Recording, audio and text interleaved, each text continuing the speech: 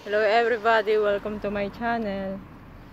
Sa paggunguha ko ng lupa doon at naglalakad, nakita ko yung lalaki may tinapon. Akala ko painting. Pinuntahan ko. Ayan. Guys, oh. Pinaaga ko ng gising. Okay pa siya, relo.